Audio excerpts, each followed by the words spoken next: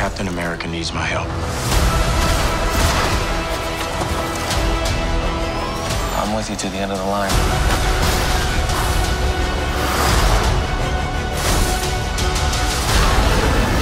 We got a situation here. Where's the fight?